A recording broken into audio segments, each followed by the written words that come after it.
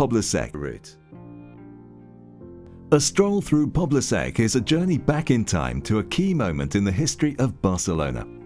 It is a reading of the fragments of its past, before the city would break free of the walls that encircled it, and a time when the foothills of Montjuic were still interwoven with fields of crops and quarries. And it is also an opportunity to witness the area's transformation into a modern and industrial district, a place that would provide shelter for the city's newcomers and recreation for everyone.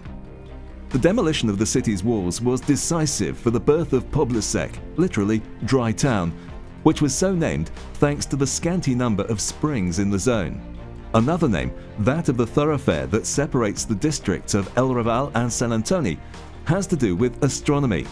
Its silhouette coincides with that of the 41st parallel north at 41 degrees 22 minutes 34 seconds.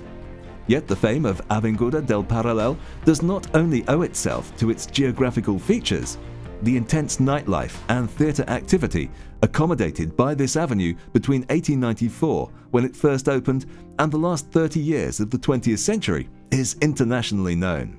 Yet the footstep of time's passage in Poble-sec is not exclusive to Avinguda Paral·lel and can also be seen in countless corners of the district. In the now 100-year-old housing blocks in the magnificent buildings which were erected for the International Exposition of 1929, in Refuge 307, which speaks of a city at war, and in the smokestacks that rise above the rooftops, bearing witness to the district's industrial past, among others. Enjoy a walk through Poble-sec